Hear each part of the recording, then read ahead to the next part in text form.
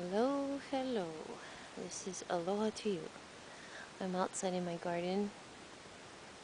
It's um nighttime.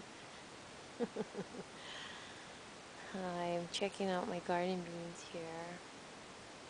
Been having problems with slugs and just don't know what to do. There's one of them right there. Figured out a way how to crawl up on my garden beans. Tried copper pennies. I got all the pennies on there. Nothing works. I had a copper strap coil roll that I um, wrapped around each plant here, but evidently it looked like they figured out a way get up there. I think they actually crawled on these wirings and then off the grass. I don't know. I need to figure out a way how to get rid of slugs. Got any suggestions? Feel free to leave them in the comments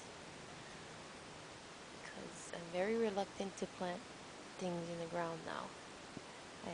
Have a lot of things I planted already in buckets and I'm keeping those in the buckets and watching them closely.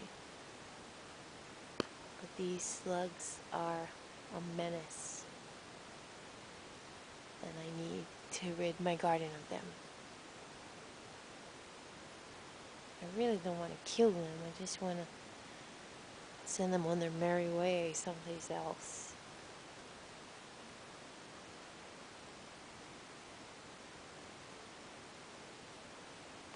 How big they are. Another one here. It's never ending and a lot of us gardeners do have this problem with slugs. Thus far, slugs are my only problem. Nothing else really ruins my plants but these slugs. So, I guess I just gotta figure out what I'm gonna do here.